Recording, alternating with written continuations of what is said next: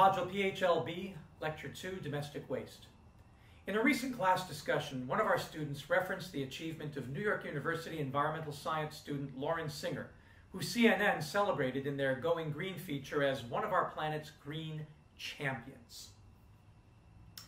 Her claim to fame was reducing the amount of packaging that she brought home over four years so that she could fit each year's worth in one mason jar. Now that is dedication. So much of our so-called domestic waste is unnecessary. Bulk shopping has existed since time immemorial, and here in Florida, outlets like Bulk Nation, which has branches in Brandon, Largo, and Lakewood in our region, cater to people who want to eliminate much single-use plastic and other packaging. In Europe, of course, fresh fruit and vegetables are displayed and purchased without packaging.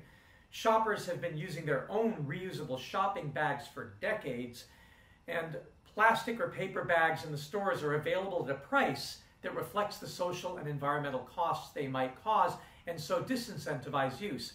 Oh, and stores like Aldi have unpackaging stations before you leave the store, large tables next to recycling bins where you remove as much packaging as you can before leaving and make it the store's responsibility to get the materials back into the supply chain.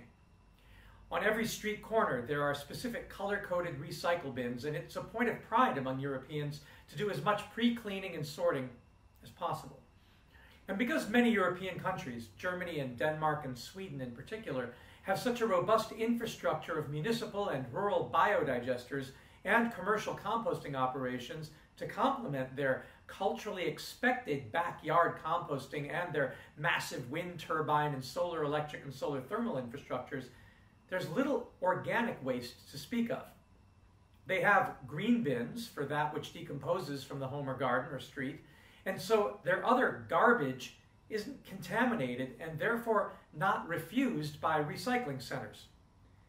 When I visited Manila in the Philippines back in 2011, I saw something that convinced me that many so-called developing countries were already outstripping the Northwest European hegemonic cultures when it came to problem solving.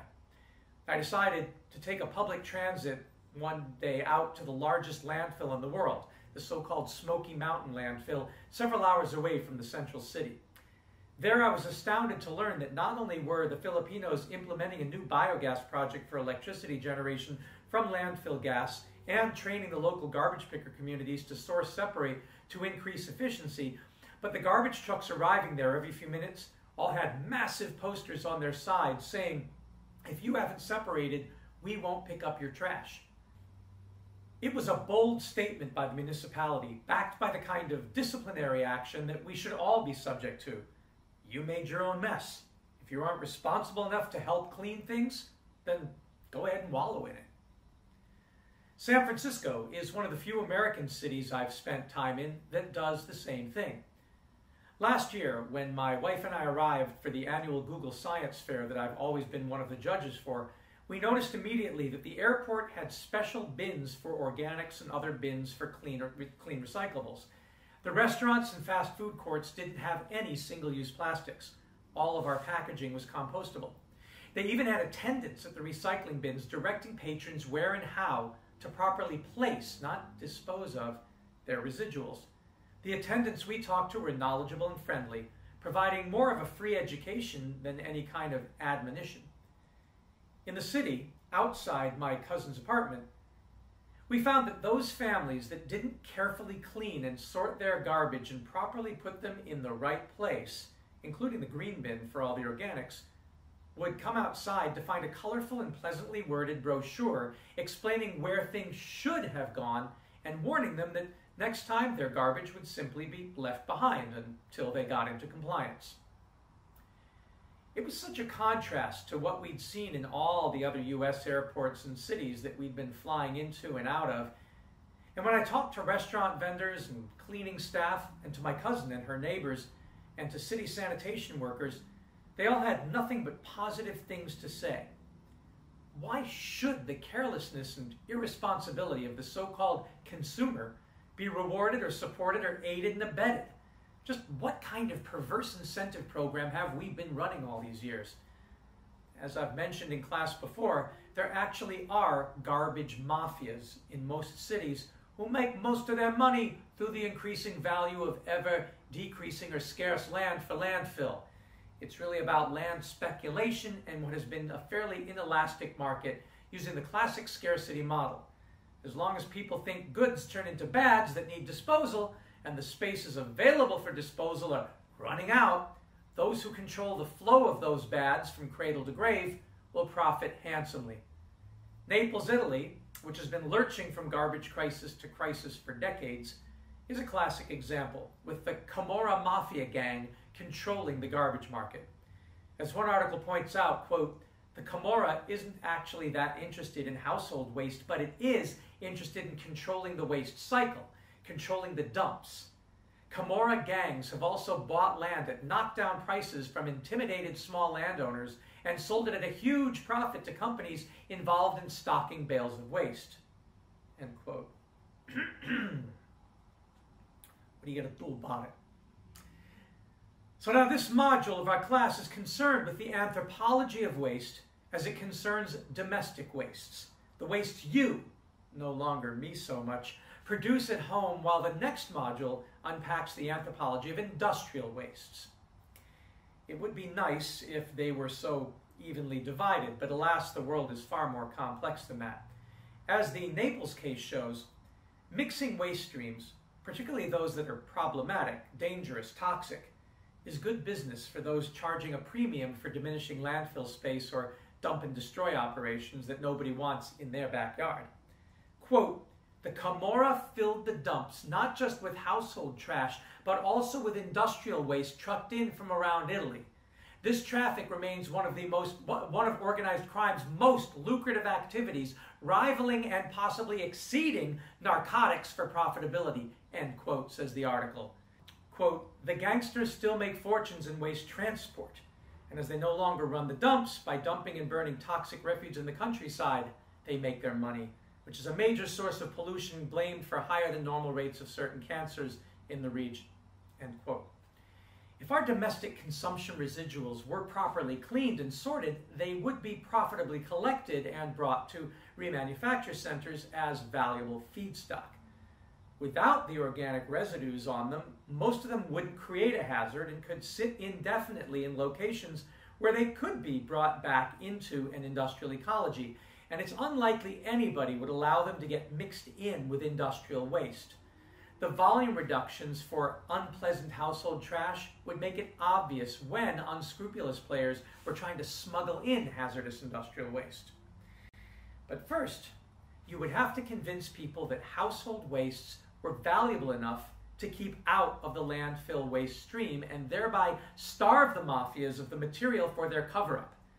I've mentioned endlessly that the first and best way to do that is simply separate the organics from the inorganics and clean the inorganics so they aren't contaminated by anything that can putrefy. I learned how important this was from the Zabbaleen Trash Recycling Society with whom I did my PhD research. The very dignity and safety of whose lives depends on the public taking the responsibility to keep the organics and the inorganics separate. In their community, it isn't academic. One of my friends in Solar Cities NGO co founders lost his baby niece in her crib to rat bites. Like the rats that caused bubonic plague in Europe and, and like the horrors of cholera that killed tens of thousands in Haiti not so long ago, these tragedies simply can't happen when so called organic wastes food, and toilet residuals are properly transformed into fuel and fertilizer. Once you take the pledge to safely eliminate your organic waste by transforming them from bads into goods, you will no doubt begin to look at your domestic consumption residuals in a different way. The first thing that you will notice is that they never smell. Ever. Full stop. No smell. Clean plastic, with the possible exception of new and still off gassing polyvinyl chloride shower curtains and pool toys and furniture covers and such give off no odors. You already knew that on a visceral level with clean glass or metal, and you could get your mind around it with paper and cardboard. Can you think of any home or domestic garbage you produced that couldn't sit for months and months around your house, on your porch or patio, in the garage or backyard without causing you anything more than a space problem? Toxic chemicals aside, which you in this class can certainly avoid in your household kitchen and bathroom cleaning products, is there anything you can't hang on to without any worries about health and safety? And let's talk about kitchens and bathrooms for a moment. When we talk about domestic wastes, about household garbage, about the kinds of trash that you personally are responsible for, does your mind go to your bedroom as the source of the problem? The living room? The playroom? The den? The dining room? Or does your worry about a human population moving toward 9 billion really have to do with what you have seen yourself and your family and all your friends throw away every day into the trash from the kitchen and the bathroom? Oh, yeah, the living room may see small spikes in wrappings and packaging around the Christmas tree or menorah each holiday season, and the dining room table may get stacked with boxes and ribbons and PET plastic containers on your birthday each year, but that stuff is usually minimal in volume and clean and dry and easily recycled. The sticky, icky stuff and the toxic stuff, apart from the garage when you're working on a home building project or working on your car, inevitably comes from your kitchen and bathroom. Don't get me started on the washing machine or, or the garden. If you're still using phosphate rich or non biodegradable detergents to wash your clothes, and if you're using toxic chemical fertilizers and pesticides and herbicides in your garden, and you're studying sustainability, then, well, uh, I mean, just stop. And anyway, there are licensed locations, certified collection centers, or CCCs, for disposing of hazardous waste. Our local library takes batteries. Many service stations take your motor oil, as do many curbside pickups. There is no excuse for any of us contributing domestic toxins to our air, land, or water. Now, your problems emanate from your kitchens and bathrooms, from the single bins most of you keep in these sacred rooms of ritual, throwing together in the mess of mix all manner of organic and inorganic yick to the yawning drains of your sinks and showers to the black hole of your toilet, where all manners of poisonous materials and medicinals and cosmetics mingle with otherwise valuable nutrients that you just don't see the value of or that you don't know how to make use of. Besides that, let's be honest, what you're really worried about are plastics. And not all of them either, mostly the number sevens, the composite plastics in chips bags and wrappers and razors and toothbrushes and plasticized milk and juice cartons, and other monstrous hybrids. The stuff no curbside recycler wants to pick up because the cost of separation exceeds the value of the recoverables. The others, the ones with the little recycling labels, number 1 through 6, PET, HDPE, PVC, LDPE, PPPS, if cleaned and sorted, which is easy because they have those embossed symbols on them, if only more people would use them. It's kind of like color by numbers. You don't have to be in any way artistic or scientific. But even if you didn't sort them by number, as long as they're clean, workers on the other end have little problem doing what you should have, could have, would have. But here's the thing. Even if you didn't sort your plastics to make them profitable for others to recycle, do you really want to throw them away? I mean, do you really want to give them away? This is a non trivial question. By now, we've all learned that plastics are petroleum products, that they're made from oil, from fossil fuels, fossil materials that are limited and messy and toxic, and thankfully, in a way, running out. Good riddance when they're gone, say some people. Leave them in the ground, say others. Every time we recycle plastics, we forego the mining or pumping and transport of new so called virgin oil. But what many people don't know is that plastics can be turned back into oil and they don't seem to know what a simple process it is. The plastic to oil process, look it up, is a simple matter of thermal decomposition under anaerobic or air-free conditions.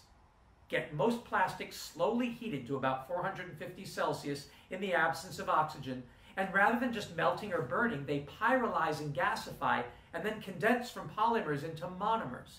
They turn back into oil. It's so easy to do that a small backyard chemist turned businessman named Adeshe Abaje in Addis Ababa, Ethiopia, has local kids scavenging the streets for him and turns the dirty plastic they bring him into fuel for minibuses. He built the system out of old oil drums, literally in his backyard. In his news report and TED Talk, he points out how the streets of his town are getting so clean now that he has had to start employing kids to scavenge in Nazareth to get the needed plastic waste. Meanwhile, a high school kid in the Midwest developed a similar system in his backyard for a science class project. While we at Rosebud Continuum Eco Science Center have the Japanese desktop Blest plastic to oil machine to demonstrate the method. Ours is much more expensive than the backyard models because it has a precious metal-based catalytic converter on it to ensure that no toxic fumes are released into our environment during operation. But the plastic going into it can't harm you, and the oil that comes out could sit in bottles or barrels for millions of years if you like. It is, after all, oil, the same fossil fuel oil we pulled out of the ground after millions of years to make the plastic. Now, if some Saudi prince offered to give you a few barrels of oil, would you turn him down? Would you throw it away? Or would you sell it? Maybe you would hang on to it for a few years until oil prices went up again. That's how these oil sheiks got rich, right? Before they discovered there was combustible liquid black goop under their desert sands, they were herding camels. The only problem with the oil, like all liquid petroleum, is that it can spill and contaminate water and it can be easily flammable. Those metal oil drums can corrode and leak. Wouldn't it be nice if we had a safer way to contain and store oil? What if we used a plastic container itself made of oil? Hell, for that matter, what if the oil inside the container were rendered into a solid material that couldn't leak or off gas or explode? What's that you say? Oh, plastic is oil. The plastics you throw away every day and yet consider such a threat to our oceans and wildlife, the plastics that degrade into microplastic particles that get into the food chain, the plastic bags and straws that kill sea turtles and seabirds, all that is a relatively inert form of solid oil that couldn't hurt anything if it were stored in barrels. So why wouldn't you hang on to it? You wouldn't even have to sort most of it since eventually it can be turned back into oil, with the exception of number one, PETE, which has a higher decomposition temperature and is better placed in the recycling market to make new bottles or packaging or shoes and t-shirts and other stuff. Oh, and number three, polyvinyl chloride, PVC, which can emit the toxic chlorine gas, better handled by hazardous waste companies with the proper facilities. You can basically keep all the HDPE, LDPE, PPPS, and other together until you want to sell it, given that it's just oil. Basically, every barrel of plastic you keep is actually a barrel of oil equivalent. So what are you doing throwing barrels of oil away every week and then claiming we're in an oil crisis or running out of oil? We tell ourselves it's because we don't have enough space. And that's only partially true. There are probably about 5,000 cans in this room. Even if your home is small, many of us store things we think are or will be valuable, especially when they aren't hazardous. And most people do store gasoline and oil and other petroleum products from their gar- in their garages, despite the hazards of liquid fuels. Certainly, our communities have space somewhere to store solid oil. They just don't think of it that way. Instead, they make huge amounts of useless space available for domestic wastes that they call landfills and dump everything together with no thought of later recovery. They spend millions lining these spaces to try and prevent groundwater contamination, and they put in capture and flaring technology to keep gases from being released to our atmosphere. It never seems to occur to them that if all the organics were cleaned off the garbage beforehand, there would be no chance of the landfill releasing greenhouse gases, no chance of attracting seagulls and other birds and rats and feral dogs and cats and roaches and flies and other vermin, no chance of smelling and causing odor problems for the community or causing disease. And then, if the plastics were clean, it would be fine to put them in the landfill. After all, they came from underground to begin with when they were oil, and now they're even more safely put back in the ground in this solid form called plastic. But why would you? Why would you throw it away? Probably for an anthropological rather than a technical reason. We throw things away because our tribe sees them as impure, as taboo, and unclean. Even when we clean our plastics, seeing them in the trash bin makes our tribe deem them unclean and untouchable. Now, I don't want to mislead you into believing that household garbage isn't or can't be dangerous and untouchable. Annie Lennox gives a sobering account of just how bad much of what we bring home really is in The Story of Stuff, the documentary based on the book in our readings. She writes, quote, There are over a 100,000 synthetic chemicals in use in commerce today, Only a handful of them have even been tested for health impacts, and none have been tested for synergistic health impacts. That means when they interact with all the other chemicals we're exposed to every day. So we don't know the full impact on health and the environment of all these toxic chemicals, but we do know one thing toxics in, toxics out.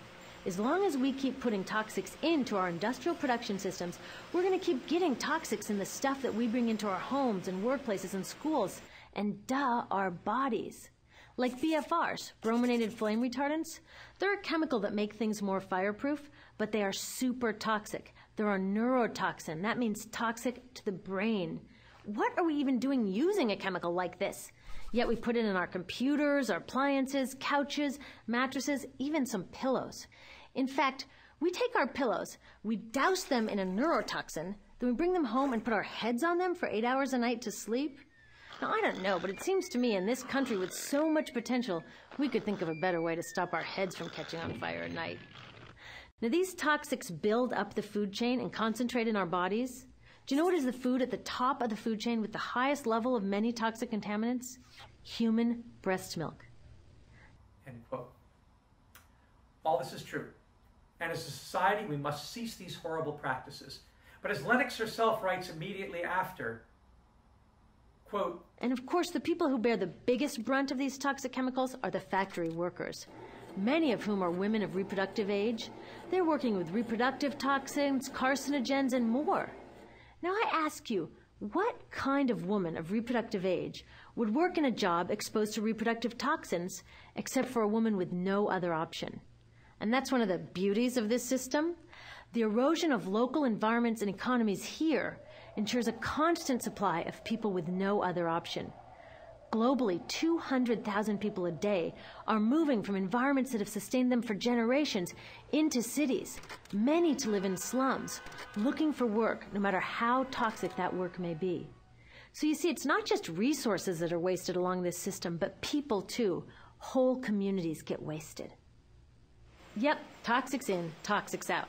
A lot of the toxics leave the factories in products, but even more leave as byproducts or pollution and it's a lot of pollution. In the US, our industry admits to releasing over 4 billion pounds of toxic chemicals a year. And it's probably a lot more because that's only what they admit.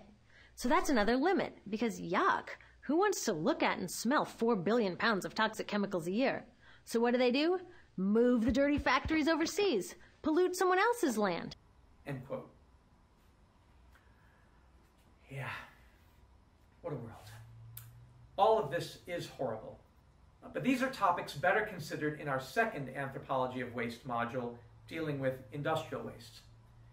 With the exception of products that off-gas toxins into the air, or products you use on your skin, or the uh, flame retardant she talked about, in general, what we bring home isn't as dangerous as what the manufacturing process, process leaves behind in the communities where people are forced to produce this stuff. Environmental injustices mostly occur at the sites of manufacture. And providing you don't burn the material you consume or bury it in your backyard, leaving clean, sorted garbage on your property, properly covered, isn't going to have much of a health impact on you or your environment. It is in the disposal of your household wastes that they cause their huge problems, which is why authors like McDonough and Braungart champion the cradle to cradle model that seeks to define everything as a type of nutrient. As the University of Limerick's Contemporary Design Culture course in Ireland tells it, and I'll use my Irish accent, in the cradle-to-cradle model, all materials used in industrial or commercial processes, such as metals, fibres, dyes, fall into one of two categories, technical or biological nutrients. Technical nutrients are strictly limited to non-toxic, non-harmful synthetic materials that have no negative effects on the natural environment. They can be used in continuous cycles as the same product without losing their integrity or quality. In this manner, these materials can be used over and over again instead of being downcycled into lesser products, ultimately becoming waste. Biological nutrients are organic materials that once used can be disposed of in any natural environment and decompose into the soil, providing food for small life forms without affecting the natural environment. This is dependent on the ecology of the region, For example, organic material from one country or landmass may be harmful to the ecology of another country or landmass. The two types of materials each follow their own recycle cycle in the regenerative economy, end quote. You'll have to forgive me, I'm a Culhane, County Limerick is where we come from. Now, cradle to cradle is unabashedly circular. And if we can keep the technical and biological cycles from overlapping in dangerous ways, industrial ecologies should be able to thrive alongside natural ecologies, and we can envision a regenerative economy where households no longer dispose of anything, but simply give back to each cycle the nutrients it needs when it needs them. There would be no garbage pickup, just technical nutrient pickup. In my opinion, the biological nutrients should stay in the community entirely to help produce new food and natural ecosystems there, at home. So there's one point that the story of stuff tries to drive home throughout its presentation that I want to unpack and actually contradict here. Lennox says, quote, We are running out of resources. We are using too much stuff. Now, I know this can be hard to hear, but it's the truth, so we've got to deal with it. In the past three decades alone, one third of the planet's natural resource base has been consumed.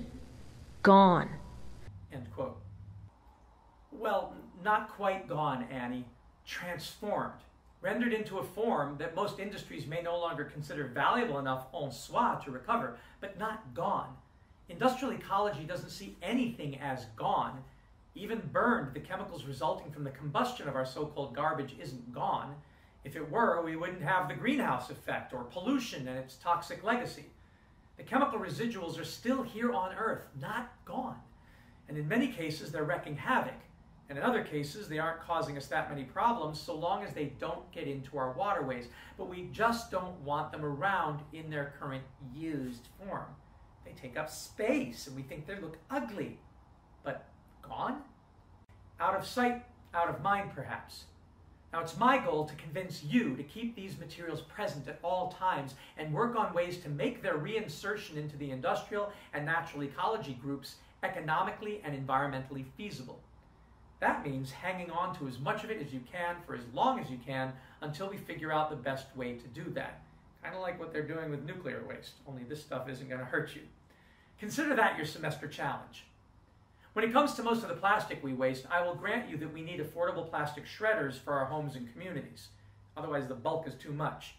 They should be available at every school and local library, but they're not. Volume reduction is a huge need because when we toss our plastic residuals into the garbage and claim our waste bin is full and needs to be taken out, we're mostly throwing away air. A plastic shredder turns all that volume into a fine powder or into packable granules. Without a grinder shredder, it's hard to store a lot of plastic material before you get overwhelmed by the sheer bulk of it all. But once shredded, you truly can claim that a barrel of single-use plastic residuals is really a barrel of oil equivalent, just a whole lot cleaner and safer. There are other advantages to shredding plastic. If you don't want to store it as a future hedge against inflation or turn it into oil, ironically, I've found that if you do invest the time and energy in converting back into oil, people accept that you would store oil more than storing solid plastic, even though the latter is safer and odor free. Again, it has to do with our cultural expectations and notions of value. We store ours uh, to use in our hurricane lamp, for example, and we've run our weed whacker on the plastic oil for a couple of weeks before it stopped working, probably due to carburetor damage from the unrefined crude oil we produced. If you cleaned and separated plastic and you shred thermoplastics like number two, HDPE, things like bottle caps, for example, or number five, polypropylene, found in yogurt containers and plastic form, forks and spoons and coat hangers, you can actually turn the flakes into 3D printing filament using machines like the Filabot or the Protocycler. It turns out the number two, three, and five plastics are so easy to work with that here at the Rosebud Continuum, We've even begun making durable classroom and wildlife trail signs out of them. Former Globe students, club leaders from Patel, Kiana Sladicki and Folarunsу Tosinester and Franklin Durake, got school kids to gather bottle caps from beaches over several weeks as an environmental cleanup effort, sorted them by color, and then spent time shredding them and feeding them into the Filabot, the USF 3D Access Lab, and turning them into 3D printer filament. For quality reasons, they turned from this effort to instead melting the plastic caps into a gooey taffy in their dorm room at, in their oven at 300 degrees Fahrenheit and then rolling and pressing it into flat signs, which they later painted and carved using our robotic CNC mill X-Carve at Rosebud, showing the potential. Later, students Sierra Rains and Lydia at Iwo refined the technique using a new press that the Rosebud staff had built and a hand sander to make them smooth and shiny. Their research showed the value of hanging on to all the HDPE and polypropylene plastic you can, while Culhane made a weekly habit of turning his, my, number sevens into crude oil for the hurricane lamp. And Paul Duffenbach, another student, worked with Culhane, me at Rosebud, to build a small aluminum smelter which they used to turn all the aluminum cans into ingots and cool objects.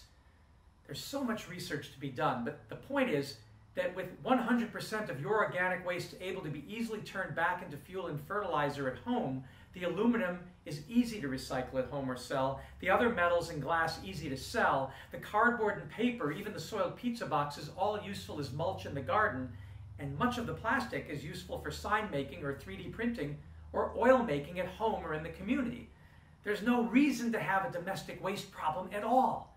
It all comes down to attitude, and that's an anthropological thing, not a technical thing.